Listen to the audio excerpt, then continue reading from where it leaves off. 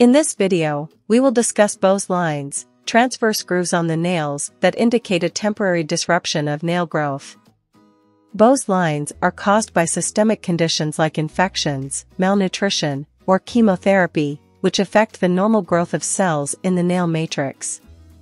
Observing the number, depth, and width of Beau's lines can provide insights into the timing and severity of the underlying condition.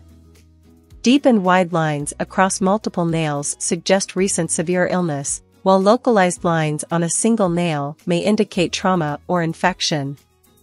Beau's lines can also reflect chronic systemic conditions, with lines at different stages of growth indicating duration and progression.